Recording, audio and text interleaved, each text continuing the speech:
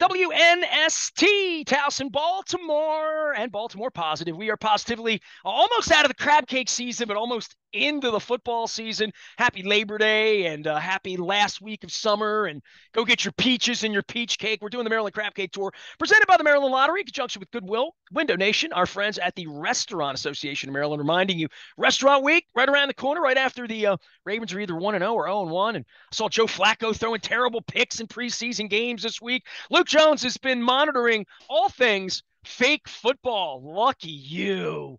Uh, the Washington Commanders and their um, third string and fourth string came into town the other night. Luke spent some time down there while I was spending some time with uh, Rod Stewart and Robin Zander and the charisma and the magnetism of Rick Nielsen and Cheap Trick. What's going on, dude? Happy uh sort of kickoff, right? Like we're there now, right? Like this is Ronnie Stanley and they're bringing out all the guns and here we go and we're, we we got a real football game in a week and a half and uh, are they ready? Are they ready to play football, Luke?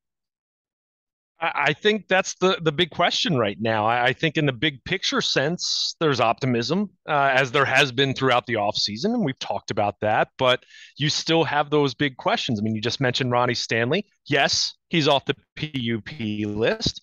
Is he going to be ready for week one, however? Is he going to be ready for week two? Whenever he does hit the field and playing in a game, does he look like Ronnie Stanley? Or does it look like week one Ronnie Stanley last season, which we know how that went and what happened in the weeks to follow? So there are still plenty of questions. And so much of this stems from the fact that we didn't see these guys during the preseason schedule. And that's not a criticism, by the way. From the moment we saw J.K. Dobbins tear his ACL in, in, down in Landover in the preseason finale a year ago, I think many of us anticipated we wouldn't see Lamar Jackson and we wouldn't see most of the starters. I think it was a total of what four or five projected starters that saw any preseason action uh, over these three fake football games. So that's fine. I'm I'm totally supportive of doing things that way from a football standpoint. Now we can get into, you know, what that means for fans and people that are uh, warned, you know, that are subjected to, to spending money on these preseason games. But I'm fine with that strategy, but it does very much lead to a all right, what is this going to look like week one? And I, I, think there is a very real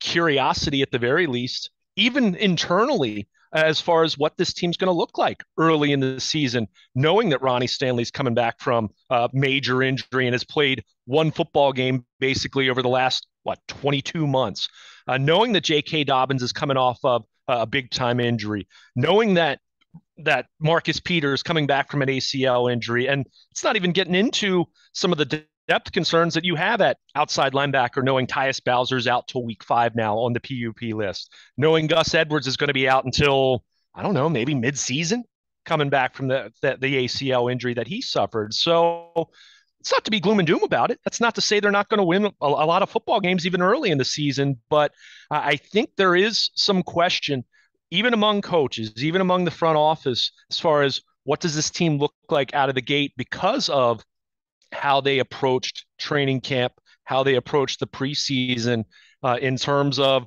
all right, you ramped up, you, you tried to protect these guys and, and, minimize injuries, which you know, we can debate how much of that worked or not. They still have plenty of guys that are dealing with some nagging injuries right now. It's football. Well, I was going to say that to you. We have these like issues we've been talking about for yeah. nine months. But how about the issues we've been talking about the last two or three weeks where they've had injuries? They had a defensive lineman go down late in yeah. week two. They they've got a center issue with their first pick. They have a safety issue with Kyle Hamilton not being good enough, right? You know, like they they they have some issues here with draft picks and with dings before they even get to New York. I mean, hey, New York's uh, losing Lyman, doesn't have their starting quarterback. So everybody's going through this week after week. I mean, Tom Brady, even, you know, people are going through some ish, even when they're 45, right? So, uh, yeah, no question. And, and that's where you look at this thing, and we've debated this for years, right? I mean, how much is too much in the preseason?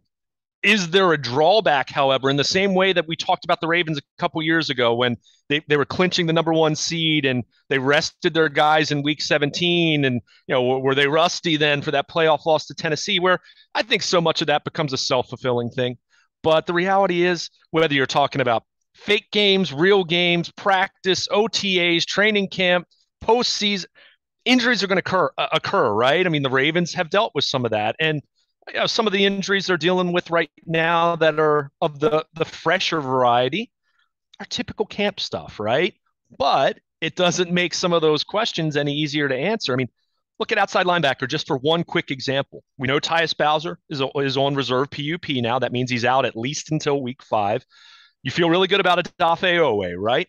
You feel good about what Justin Houston's going to be, even if it's more of a situational rusher. But what else does what else are, are they dealing with at outside linebacker right now? Daelin Hayes banged up, completely unproven. Steven Means, you know, kind of a nice story as a guy that had a cup of coffee with the Ravens seven, eight years ago. He's, he's played in the league a long time, but you know, he's kind of just been a guy, right? He's more of a journeyman.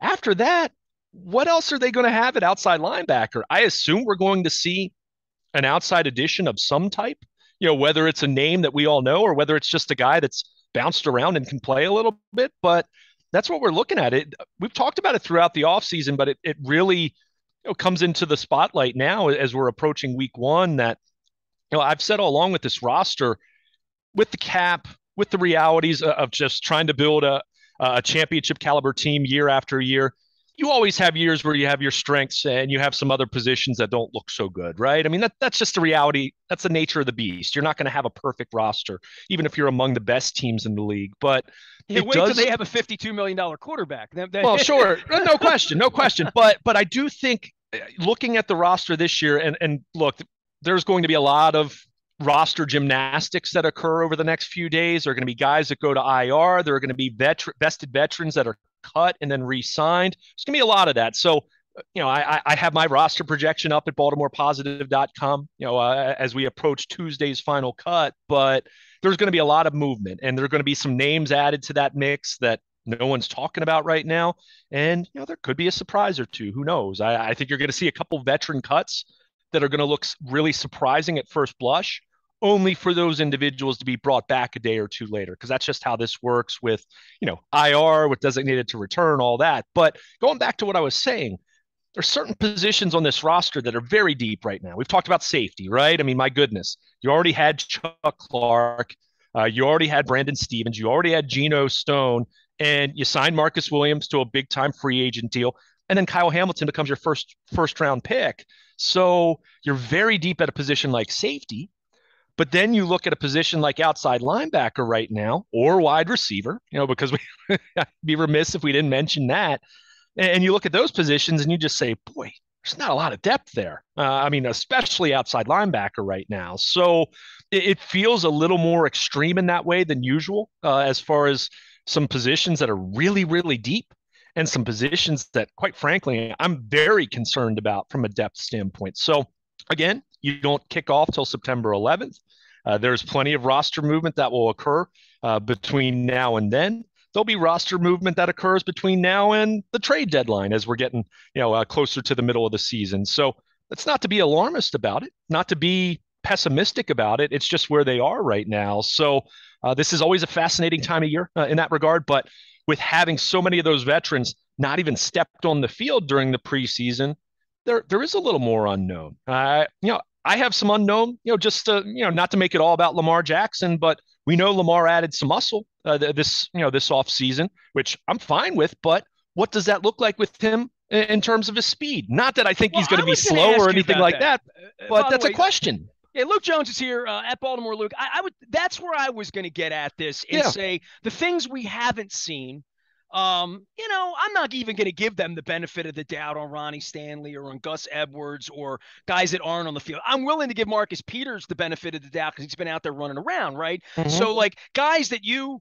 have, have been privy to at practice on the backfields, seeing guys run around, seeing them in full motion, even first team, even with maybe light pads on or scud, whatever they're doing, right out there. There's no way to project that into 60 plays of offense, 60 plays of defense on week one, situationally and knowing where they are, other than thinking, well, we got good football players and we banged around and scrimmaged a little bit. They've played no real football. And I don't know whether that's good or bad. I mean, for 50 years, we've sat here with these preseason games and, uh, you know, said that they're trash. But there have been times in the old days where the third preseason game for a half, you would go out there and see teams banging out and grinding for better or worse. You'd see awful injuries, sure. the Michael Vick thing, whatever would happen. But you would have some expectation. And I don't just mean from a gambling perspective or should I bet on this or who's the three and a half point favorite or any of that. Because I don't that's even crazier in week one to me when you have no basis for any of this stuff. But just trying to go out there and gauge it from their perspective, from the coaching, you've seen the offensive lines, you've seen all the machinations of who's going to be left guard, who's going to play right guard, who they're sort of spying and playing around with in the first week of preseason or whatever. But seeing the actual units together, how much of that do you feel like you've even seen on the backfields? And this time of year, you see more practice than you're ever going to see moving forward, right? Like they're about to throw you out of practice and give you 10 minutes and play games with you because that's who John Harbaugh is. But over the last four weeks, you've been out there for three hours with fans, right? Seeing them try to run first and second team. What what does it? What can you discern from watching them practice?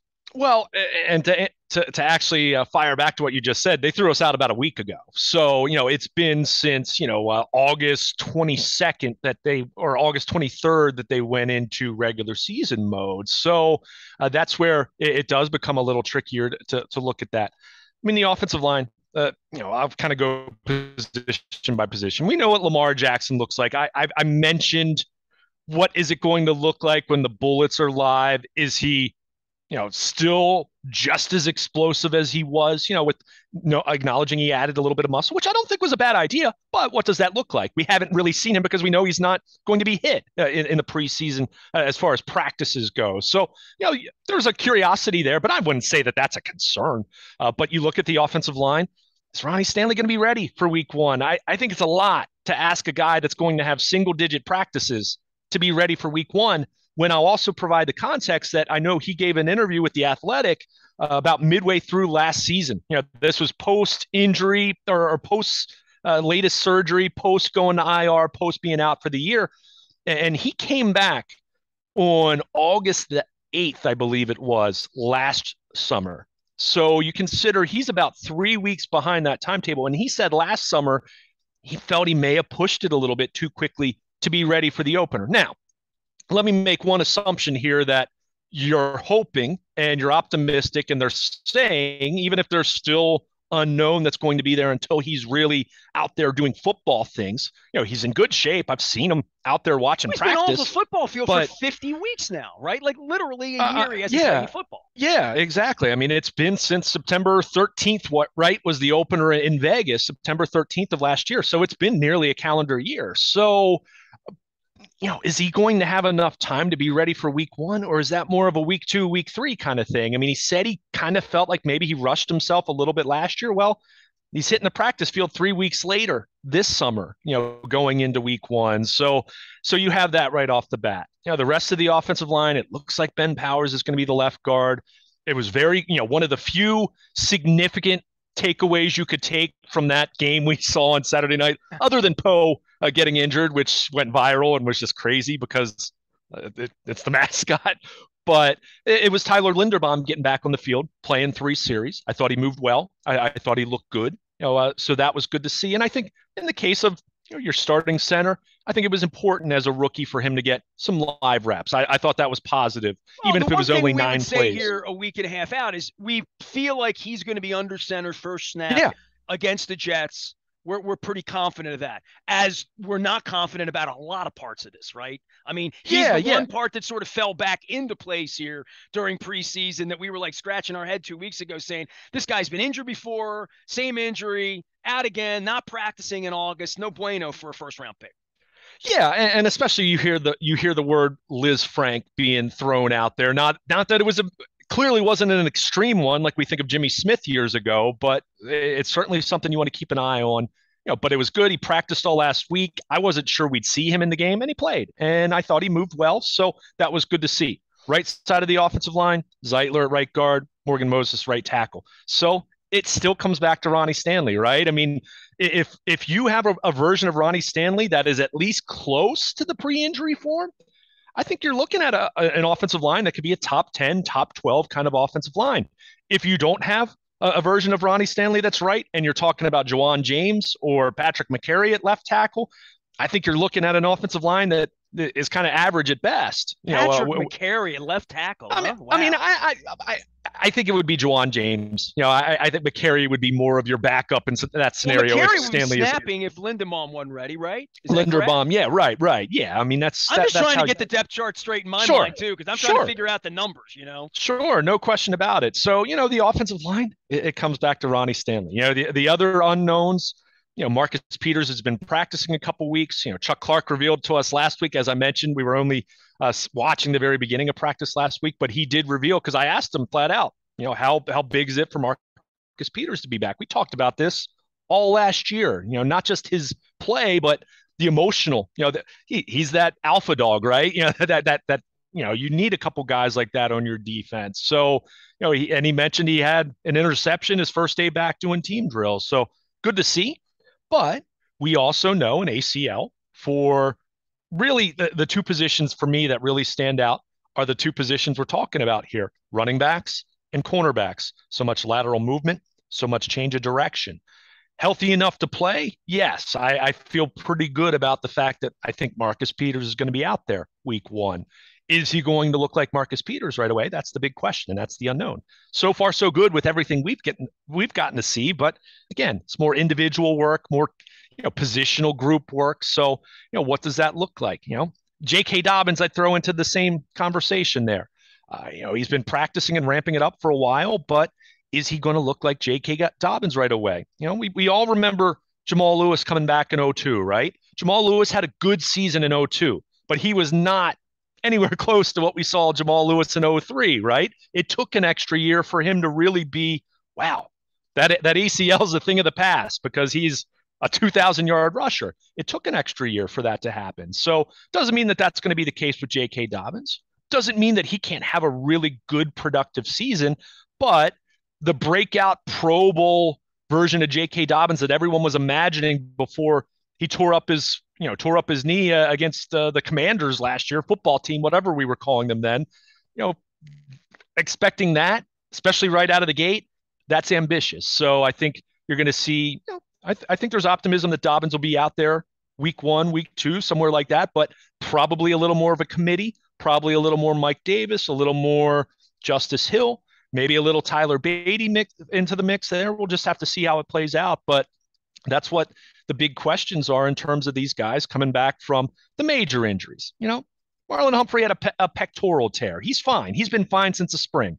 Lamar Jackson had an ankle bruise. He's been fine since February. You know, I mean, th- those are the injuries you're not worried about. But these ACLs, and in the case of Bowser, whenever he gets back, whenever we see David Ojabo later in the season, those are Achilles tears. I mean, the, these are the injuries that you do question a little more as far as explosiveness and you know that there aren't going to be a little more you know a little more uh, of a lingering effect. So it's just where we are right now, and that that was always going to be the case. You know, at, at any point in the offseason, when we were talking about this in January, when we were talking about this at free agency and the draft, when we were talking about this at OTAs, guys coming back from major injuries, there's always that question of one, are you healthy enough to be back on the field?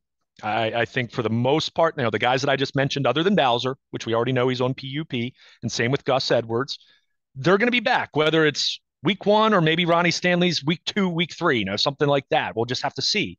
Uh, but healthy enough to play, healthy enough to thrive and be the guy you were before the injury, those are two different things. So right now, it's a lot of unknown. Coaches say, oh, guys are on schedule, guys are looking good because that's what they always say. And that's not exclusive to the Ravens. Everyone's on schedule until they're not anymore. I mean, that, that's just how this works. So, you know, there, there is some unknown in that way. But in the meantime, you have a healthy Lamar Jackson, you have Mark Andrews, you you have a right side of the offensive line that I'm feeling really good about. Uh, you have Isaiah Likely, who has been you know one of the stars this summer, and I'm really intrigued to see what he looks like. How about uh, them holding him out of that game the other day? Right, that's like telling. You right, made the team, right? Yeah. Who would have figured? I mean, you're talking about a not just a fourth round pick, but remember they had six fourth round picks, and he was on the back end of that even. And he's the one guy that was held out. I mean, we didn't see Hamilton Saturday night, but he was a little bit banged up. Nothing major, but he they held him out because uh, he, he, was dealing with a physical issue. You know, the, some of the other draft picks, Damarion Williams, Jalyn Armour-Davis, they were held out because of injury. You know, minor injuries, but but injuries. He was the one guy of all their draft picks where they just said, "Yeah, kid, we we saw everything we needed to see the first two games. You know, take the night off." I mean, that it's kind of crazy when you think about it, but it does speak to the excitement for him. Now, he's a rookie. I think it's important to understand he's a rookie, and oh yeah, he's still tight end number two on this roster. I mean, Mark yeah, Andrews. I just is, wonder when's he yeah. getting the ball and when's he getting well, on the I mean, field, and what do the packages look like with him and Andrews on the field at the same time, where he yeah. gets the ball, where he becomes sure, the target.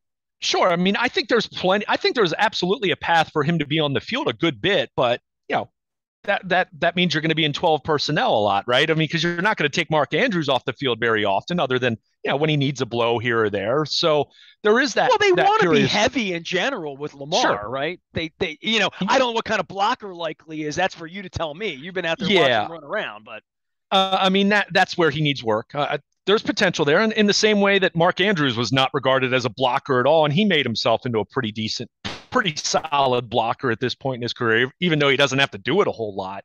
Uh, so there's that question, but think there's a potential for this team, especially because we know they don't have a ton of depth at wide receiver. You know, you have Bateman. You know, they brought in Demarcus Robinson from the. You know, he was with the the, the Raiders in the preseason, but you know, longtime Kansas City Chief who's you know been a bit guy for them. You know, a number three, number four kind of option at best for them. Uh, and a Willie Snead. Can he help them? Sure. Do I think he does he? Yeah, I, I mean, I, I, think you know some people have made the comparison. If you think back to Seth Roberts a few years back, you know, a guy like that, but maybe a guy that you hope when he's called on to make a play actually makes them. Unlike Seth Roberts, who didn't make plays, and we remember his drop against the Titans uh, in that playoff loss. So certainly doesn't quell my concerns. Let's be very clear about this. Do I think he can help though? Is, is, he someone that gives them a little more experience and a little more depth there? Sure, because well, James Proche's been banged up. Devin Duvernay, you know, hasn't really established himself as a receiver. By the way, so, they, they really have uh, high hopes for him, right? Like it feels like he was pushed along, pushed along. They got rid of Hollywood, and now here we are. And what's Devin Duvernay going to be as a threat on the field? Like, is he really going to be a guy that gets six, eight balls a week? No, I, I think no chance. Yeah, I mean, I, would be lying if I said I was incredibly high on Duvernay. I mean, Duvernay's a look, he's a Pro Bowl return specialist. I mean, he he earned that last year, but is he going to be more in my mind than what we've seen him be? Which is, you know, he's made some plays here and there. You know, he's a guy that certainly you can do some jet sweep things and some other gadget plays with. Yeah, like I'm not saying he's going to be a, a total non-factor. Do I envision him taking this major leap? Well, no. I mean, I think it. You look at that hierarchy; they're clearly expecting big things from Rashod Bateman, and at this point, you know you're still expecting Mark Andrews to be a monster season, right? I mean that that that's you, you've just come to expect that. And for me, the big question now is who emerges as that third option. I think Isaiah Likely has as good of a chance as Proche or Bateman or, or, not Bateman, Duvernay or Demarcus Robinson. I think that's the big question right now. Who is going to be that number three option? Andrews is the number one, right? I mean, he's truly the number one receiver for this team in the same way that Todd Heap was, you know, 20, you know, going 20, you know, going on 20 years ago. Uh, but, you know, I, you have Andrews, you have Rashod Bateman. I think the Ravens feel good, as good as they can feel about that one-two punch, knowing that Bateman still has a little bit of a, you know, certainly a question mark, you know, as far as becoming the top wide receiver. But the big question is that that third option, Isaiah Likely in the summer looked like he's got a chance that he could be that guy for them not going to write off Proche. I mean, but he was dealing with a hamstring over the last couple weeks, and that's limited his practice time. And you know, Demarcus Robinson does give them a little bit of an, an outside element that they were lacking at the position. So, do I feel it's a complete wide receiver group? No, uh, you know, because you're a, a Rashod Bateman injury away from saying, "Oh my goodness!" I mean, this is really their wide receiver group.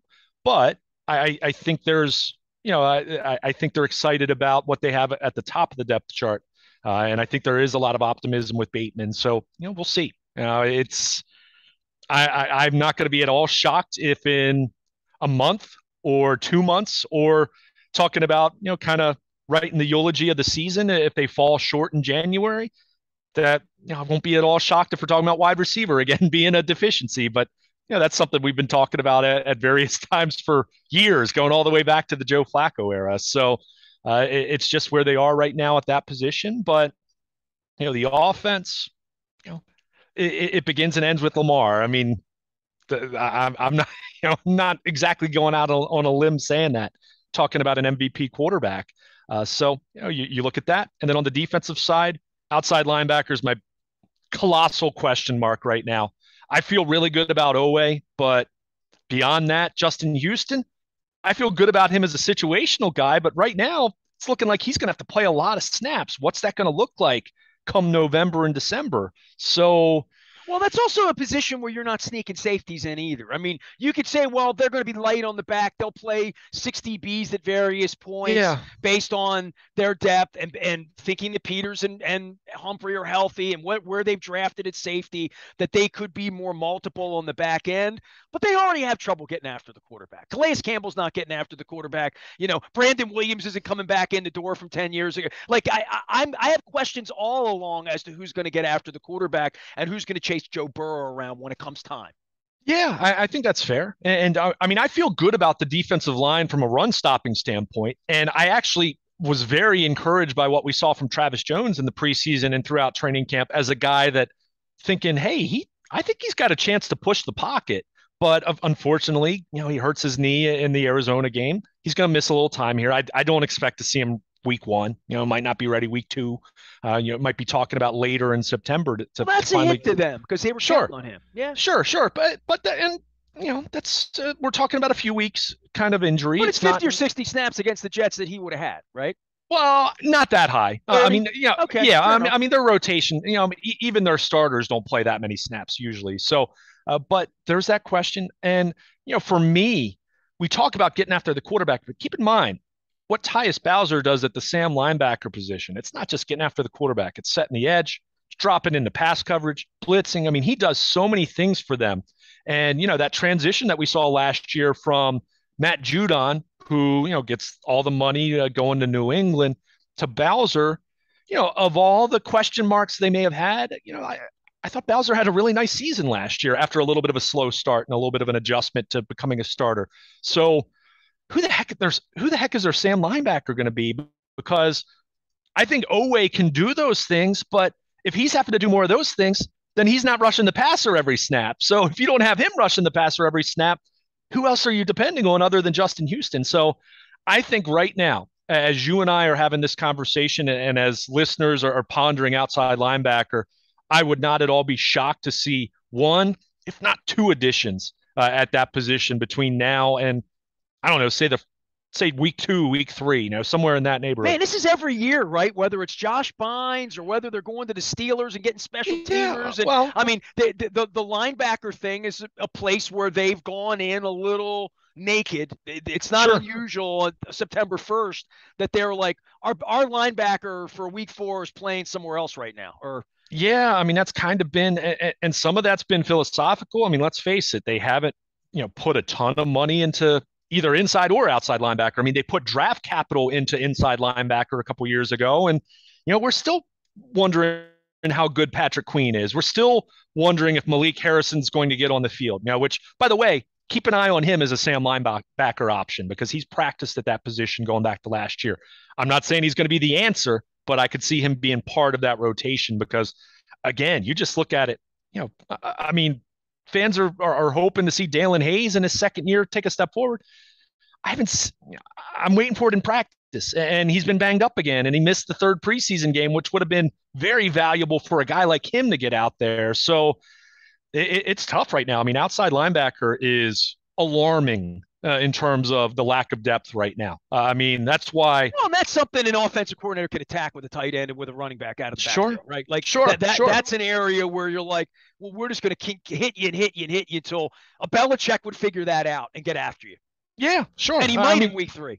Uh, he might. He, he, might. And, and again, for me, it's not just getting after the quarterback. Are you setting the edge? I mean, it, it's wild right now, and you know, not to not to put too much of a somber tone on this, but I, I mean, you think with Jaylon Ferguson, I mean, he would have been he would have been playing a lot based on how this is constructed right now, uh, and you know, not making light of any of that. I mean, it's uh, absolutely tragic, but you know, to look at where this position group is right now, it just speaks to a guy that hadn't really established himself his first few years would be playing. I mean, if Daelin Hayes is healthy and they don't make any kind of notable acquisitions between now and the opener, he's going to have to be out there by default at least a little bit. Uh, I mean, based on where it's where it is right now. So that's concerning to me. I mean, I don't want to just hand over meaningful snaps to a fifth round pick who hasn't done anything to prove himself at this point, even in practice, really. So uh, again, that's that's a big question mark right now. And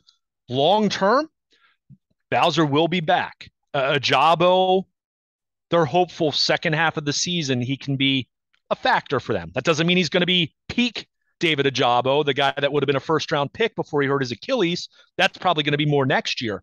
But they'll they'll look better as the year goes on. But boy, you got to get there in the meantime, and you don't want to be losing games because you can't set the edge and uh, and you're light and you can't get after the quarterback. So the secondary will help out with the pass rush element. We've talked about that coverage before pressure, but they're still setting the edge. There's still a need to have linebackers you can drop into coverage and not have tight ends and running backs kill you uh, out of the backfield uh, as receivers. So there, there's a there's a question mark with, with that. I mean, you have to. So doesn't mean that doesn't mean that thinks I think that's going to cost them football games, but it could.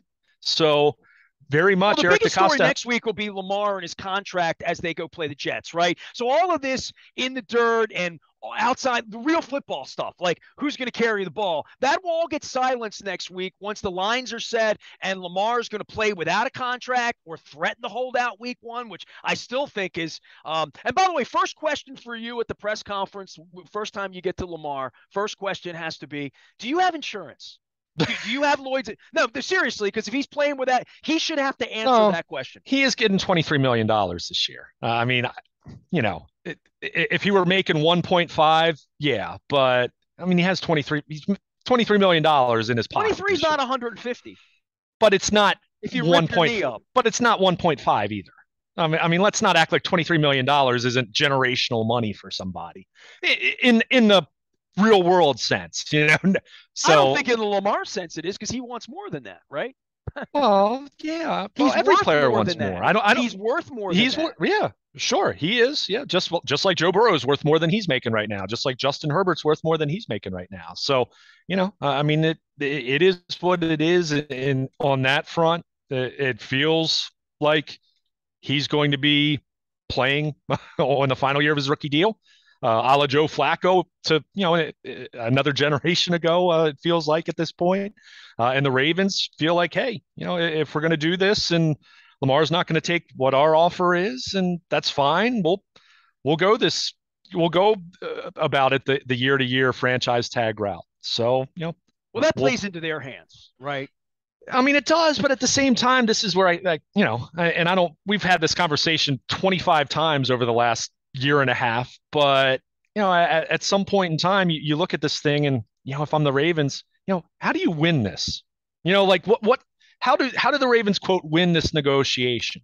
And, and that's where I keep coming back to.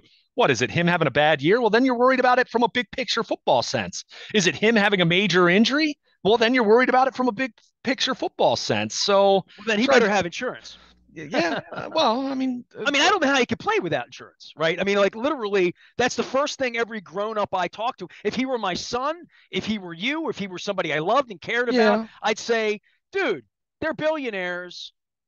Guy in Cleveland is, is a criminal and got two hundred thirty-one million dollars. You shouldn't take the field until you get paid. And mm and especially after having the kind of injury he had last year, I think that would be the wake up call that this can be taken away from you right? Yeah. Quickly. And and it will be taken away from you quick enough. You, you, know, whether you're Jaylon Ferguson or Tony Siragusa, it all happens too quickly for all these guys. This is his chance to get paid to go out there and rip your knee up in week three against the the Patriots and making a million three a week. I, I, it's just not good for him look, I have no care either way. Good for the Ravens to get away with this and keep $30 million of cap money on their side, as well as the actual money in the bank that they're uh, uh, collecting interest on. But for Lamar to go out and play next Sunday, not good business for him. And but if he has a $150 million Lloyd's of London insurance policy, okay, I'll hear that because that's what he needs to have to play if he's my kid, if he's my client, if he's my friend, if he's my family member. That's what would that would be a baseline. Okay, they're not going to give you the 180 you want right now. They're only offering you 110 million. You feel like that's not enough. Yeah. Fine, but don't go play for 800 grand this weekend. Like literally, don't go. Oh, he's he's making more than 800 grand because. But once, once, once. I mean, I, I hear you. I hear you. But but what? But everything you're saying applies to any player that's in that position. I mean, I don't think I don't not think every Lamar's, player's in his position. He's in a uniquely get the biggest contract in the history of the game kind of position. Not Yeah. nobody's Well, been in that position in a while. And, and he would say, well, in this way. and he would say, well, I wasn't in that position last year when everyone wanted me to sign last year, so maybe I'm doing this thing right. I I mean, I'm just just saying. I mean, he's if, if whatever he if they get something done in the next 10 days before week 1, which I don't expect, but hey, it could happen, right? I mean, it could come together. We've seen these deals come together very quickly uh, in the past with Well, various whatever number's out on But- the table is an enormous number. But my point well in excess of 100 it is, dollars. but it's it's and it's way more than he would have gotten a year ago had he signed. So from that standpoint, uh, you know, I, I'm not going to fault him too much at this, but at the same time, whether it's him, you know, in anyone, at some point you want to cash in your chips, right? I mean, you're sitting at the poker table or the blackjack table and, you're on a heater and you're doing amazing and you've got all these chips, but at some point in time, until you cash out and, and you get what what's in front of you, they're they're just pieces of plastic, right? I mean, that's that's all it is, uh, and you theoretically could lose it. So that is where you you do look at this thing and say, you know, at some point in time he's going to want to cash in, but he clearly isn't ready to do that. And the Ravens I would clearly say at this point, if I'm his agent, I'm like, let's start with this. You don't have a proven wide receiver. You have not a proven running back. You don't have a proven left tackle in there right now. We have issues on the defense. There's all sorts of issues with this team in Yeah. thinking you're going to go out and win the Super Bowl this year to enhance your value. That's probably unlikely. Vegas would say that's unlikely, right? That Yeah. that they're going to win the Super Bowl this year. So if you're playing from that where Joe Flacco was as he comes uh, into focus next week, then that's a crazy way to play it. If you're playing it from the I will have more value because I'm a quarterback and it's the NFL, and as long as I'm standing upright, which is where Joe was, because Joe wasn't top of class, right? You know what I mean? No. Nobody looked at Joe in the summer before he won the Super Bowl and said they should give him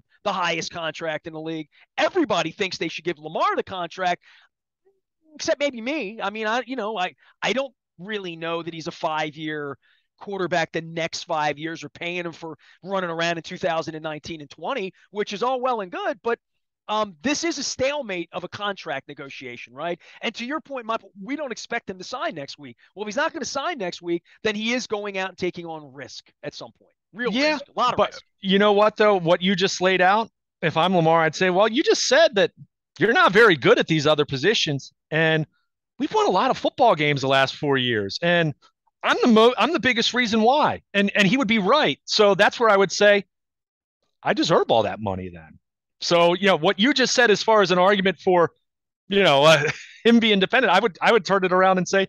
That's why you guys need me because without me, you're not a playoff team, and, and the Ravens aren't a playoff team without Lamar Jackson. I don't well, think they the go eight nine with him this year. I mean, uh, you know, or but have they you know they they've never done that you know they they all they they were they were eight and four when he got hurt last year and well they finished eight and nine then. So uh, all of those reasons to me spells out why he should be wanting as much as he possibly can get. So and again you, get to a point when how much is enough and again you you want to cash in on your leverage. You know leverage is just leverage until you know uh, until something changes but uh, i mean it's just it- it's where it is. You know it's fascinating, confusing, bizarre, weird, but you know, it, it doesn't doesn't feel like this is the last time we're going to be talking about it. So uh, as we get to week one, it will cut off and it'll be you know focus on football and reconvene, I guess, next February talking about the franchise tag if that's how it plays out. But you know, we will see what happens. These things can change, as I mentioned. blink and it'll be football season. Look out. Luke and I are getting ready for the uh, Jets next weekend. Luke will be at Owings Mills all week. Uh, I will be here and there and everywhere you are, including the Maryland Crab Cake Tour uh, out on the interweb. We are WNST. AM 1570, Towson, Baltimore. Little Ravens, little Orioles, and uh, we never stop talking Baltimore positive.